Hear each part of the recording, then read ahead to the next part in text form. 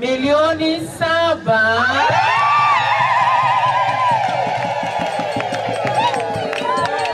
kwa pesa za affirmative ili wajane wote katika kaunti ya Vihiga waweze kuwa members na waweze kunufaika na pesa hizi. Kwa hivyo siku ya leo nikipatiana hii check, ningependa uh, chair tafadhali njoo hapa.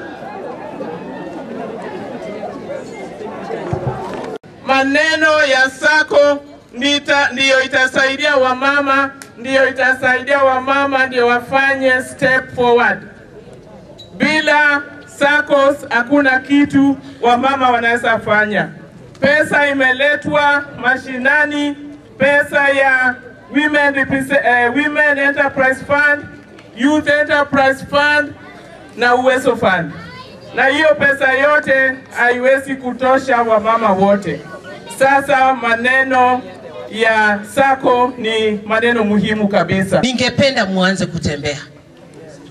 Nimesema tuko na challenges nyingi.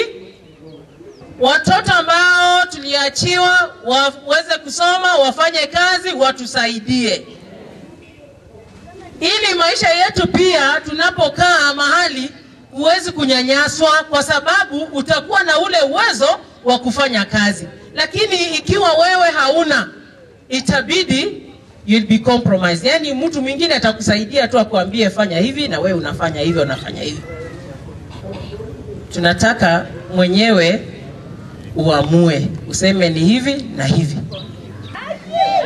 Sasa tukishatambulika, tunataka resource allocation. Na honorable kidogo umejaribu, najua imekuwa ngumu, tumekuwa kwa safari pamoja. Mara nyingi alikuwa anaenda kwa mfuko yake, amjui hiyo, manake affirmative fund haikuwa imekuja.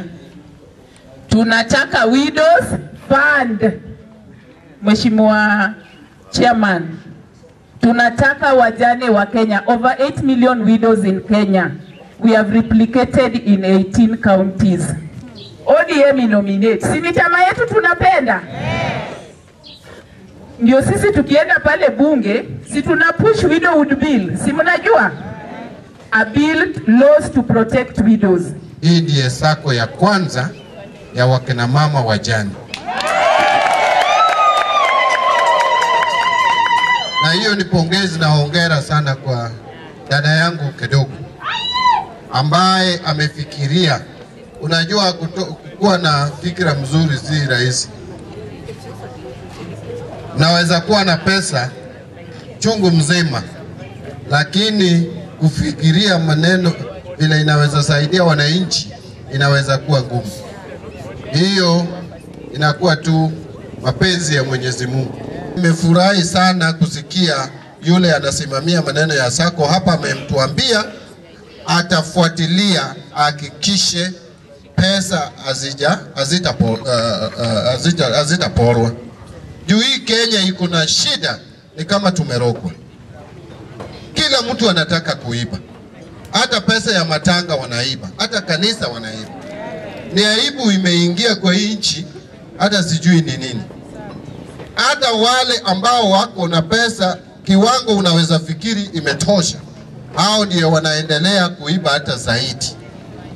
Kwa hivyo uh, madam ambaye anasimamia uh, SACCOS sehemu hii ya Vihiga, ninataka nikuombe uhakikishe umeweka uh, proper programs ya kuensure accountability so that hawa wajane wasilie mara ya pili tena.